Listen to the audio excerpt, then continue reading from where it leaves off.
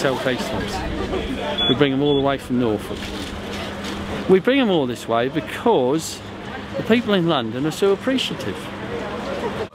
Is the, the little one is just this one Yeah, here, isn't it? exactly. Literally got nothing. It's been mould ripened, so I mean there is a little felt, a little skin around it, so it will give it a little tang.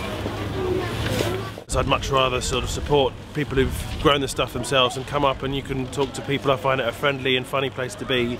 Um, and you also minimal packaging and sort of you know the, the, the kind of green concerns, but just the quality of the stuff. I think it's just much much better to to eat well, and I don't mind paying a little bit of a premium because um, because it's it's it's of quality.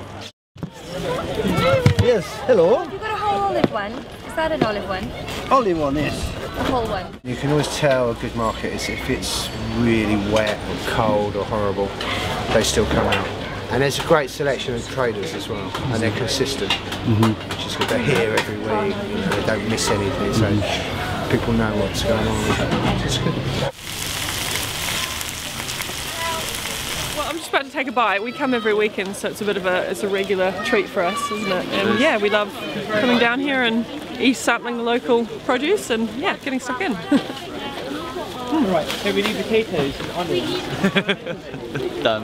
Whiteness and um, chocolate croissants. A favourite. Are they different? All different. All different apples. medium and sharp, different variety Oh, okay. I'm not telling you any secrets, right?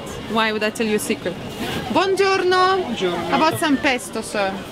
You look like you're attracted to pesto. They're all left to be naturally cloudy and still. That's lovely.